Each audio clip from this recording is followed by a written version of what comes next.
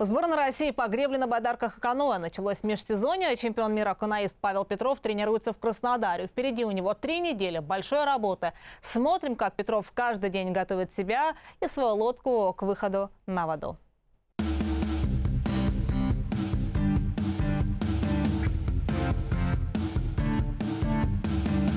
Настраиваю под себя лодку. Вот, надо поставить так, как она у меня э, была настроена, когда я последний раз на ней э, участвовал на соревнованиях. Я сейчас пока на другой тренировался. Вот.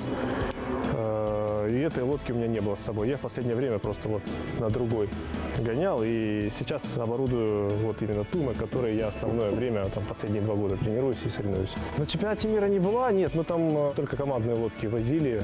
Вот, поэтому мне она конкретно там не нужна была. Вот, мы выходили. Там бывает, изредка берем одиночки, там, к примеру, из четверки, из экипажа, может, два человека возьмут, чтобы, если кому-то отдельно надо размяться.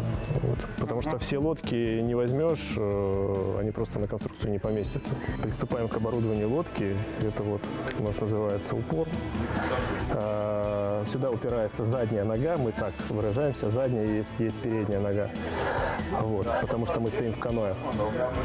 Вот, собственно, поле, куда устанавливается упор. Несмотря на то, что лодки стоят не одну сотню тысяч рублей, э, всячески дорабатываем под себя, потому что что-то ломается здесь, вот, и приходится немножко импровизировать.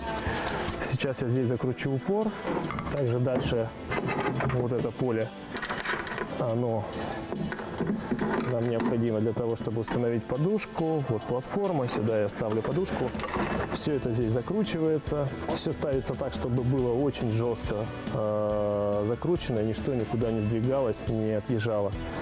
И все. И когда я все намертво закручу, на воде у меня ничего никуда не сдвинется, и это позволит мне полноценно передавать усилия, вот конкретно ногой упираясь сюда, передавая в колено, и лодка будет от этого продвигаться вперед.